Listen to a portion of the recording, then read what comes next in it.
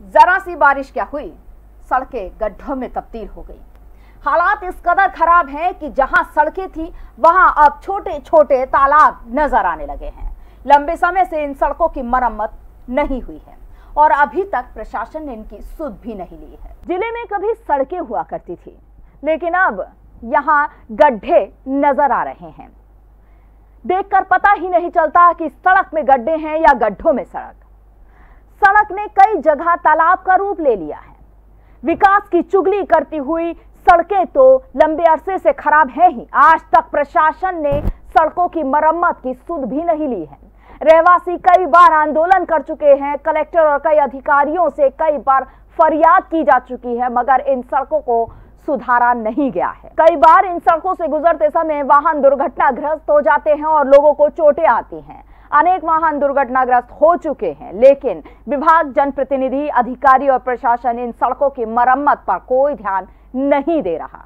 रीवा ज़िले के जवा तहसील के अंतर्गत रामबाग चौराहे से लटियार मोड़ तक पिछले वर्ष देवी कंस्ट्रक्शन कंपनी द्वारा लगभग पाँच किलोमीटर की सड़क का निर्माण किए जाने के लिए राशि आवंटित की गई थी, लेकिन ठेकेदार की मनमानी, पूर्ण रवैये के कारण सड़क का निर्माण आज तक नहीं पूरा हो पाया। सड़क पर मिट्टी डालकर खाना पूर्ति कर दी गई।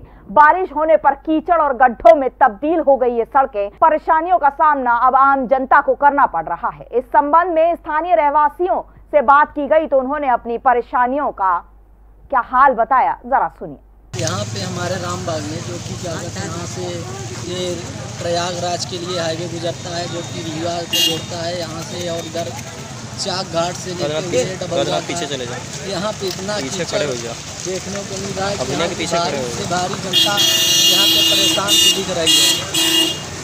और इस कीचड़ से पूरे हमारे रामबाग बाज़ार में माहौल बिगड़ा सा दिख रहा है और सब इतर बितर और इधर उधर दिख रहा है। यहाँ बारिश होने की वजह से यहाँ पानी भरा हुआ है और ठेकेदार काम लगाए यहाँ और लगभग छः महीने से ज़्यादा हो गया यहाँ काम लगाए।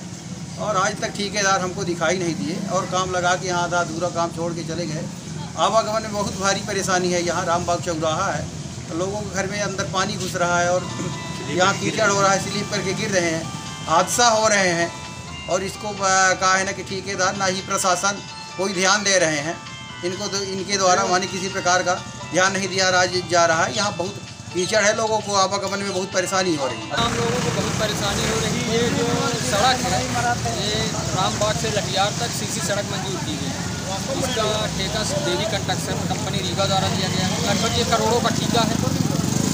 दो तीन महीने काम भी इसमें चालू हुआ। इसके बाद मिट्टी बिछाई गई। और जैसे ही लॉकडाउन हुआ, काम बंद हुआ उसके बाद बारिश हो गई।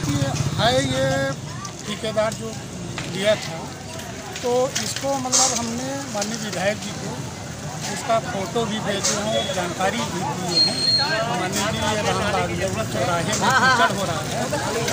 मिट्टी डाल दिए हैं नई मिट्टी। इस मिट्टी के कारण जो है तो परेशानी आ रही है और ये संगीत की स्वर लहरियों से सांस्कृतिक ताने बाने तक चंबल के पीड़ों से नक्सलवादियों के गढ़ तक झोपड़ी से महलों तक ठेलों से मेलों तक पगडंडियों से सड़कों तक गाँव से शहरों तक व्यापार से उद्योगों तक राजनीति से कूटनीति तक। दखल न्यूज़ आपके हक।